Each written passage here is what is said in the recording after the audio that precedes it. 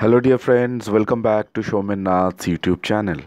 If you want to reward yourself with the right information at right time, please do subscribe Showman Nath's YouTube channel. आज हम discuss कर लेंगे कि UGC guidelines 2.0 क्यों नहीं आया देखिए बहुत सारा जो न्यूज़ होता है मैं न्यूज़ कह रहा हूँ इन्फॉर्मेशन नहीं बहुत सारा जो न्यूज़ होता है वो न्यूज़पेपर में आते हैं। और अगर आप चार पाँच न्यूज़पेपर ले लीजिएगा तो देखिएगा उसमें बहुत सारा डिफरेंसेस हैं।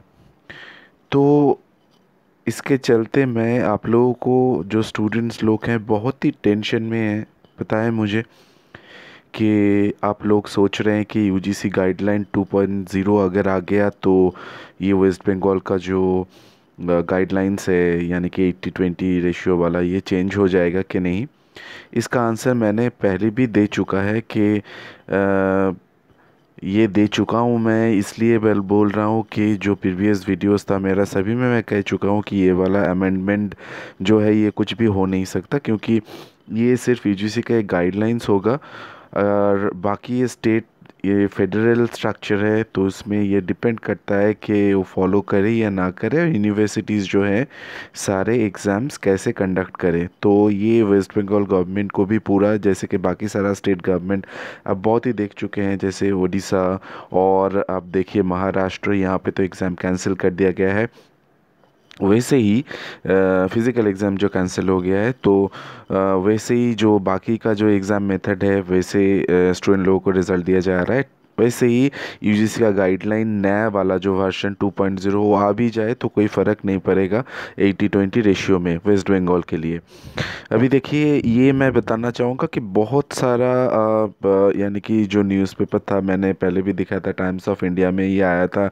UGC guidelines for university exam as revised calendar awaited varsities differ in opinion on final exam but ये वाला आप देखिए, अभी टाइम्स नाव पे जो आ गया है यहाँ यहाँ पे देखिए आप, ये फ़र्स्ट जुलाई को बोले थे पहले कि आ जाएगा, ठीक है? यानी कि और एक रिपोर्ट इन लोगों ने दिखाया था कि कि सेकेंड जुलाई यूपी जो गवर्नमेंट है वो अभी अपना एग्ज़ाम पैटर्न डिस्कस करेंगे होगा कि नहीं इसके बारे में। लेकिन आ, अगर सच माने तो हम लोग देखिए ये वाला कोई भी बाकी जो 2.0 वाला यानी गाइडलाइंस उसके चलते देखिए बहुत सारे यूनिवर्सिटीज़ जो हैं वो सारे यूनिवर्सिटीज़ अपना अपना खुद का जो स्टेट का रूल है, वही फॉलो कर रहे हैं।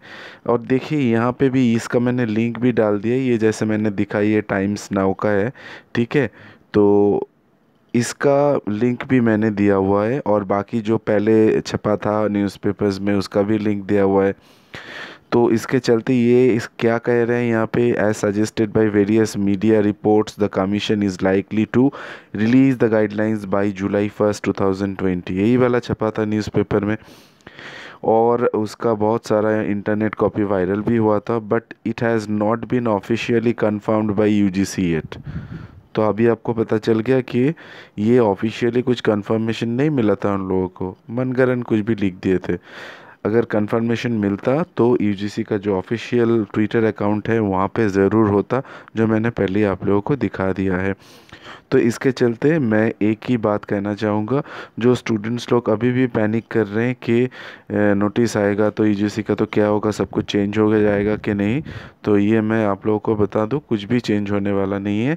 जैसे आप लोगों का एट्टी ट्वेंटी रेशियो में एग्ज़ाम होने वाला है, वैसे ही एग्ज़ाम होगा, यानी कि नो फ़िज़िकल कॉन्टैक्ट और इंटरने होम बेस्ड जो असेसमेंट है, वही आपका चलेगा। तो अभी इसके चलते मैं आप लोगों को रिक्वेस्ट करूँगा कि प्लीज़ कोई भी न्यूज़ देखने से पहले उसको इन्फॉर्मेशन मत समझिए। अपना दिमाग लड़ाइए जैसे कि और बहुत सारा न्यूज़ छपा हुआ है कि मार्च होगा सेमेस्टर्स इंटरमीडिएट स्टूडेंट्स के लिए तो प्लीज़ वेट कर लीजिए। ये सब यानी कि ये जो बात है, ये नेक्स्ट इम्पॉसिबल है। तो प्लीज़ आप लोग अपना जो मेंटल पीस है बरकरार रखिए, ऐसा कुछ होने वाला नहीं है।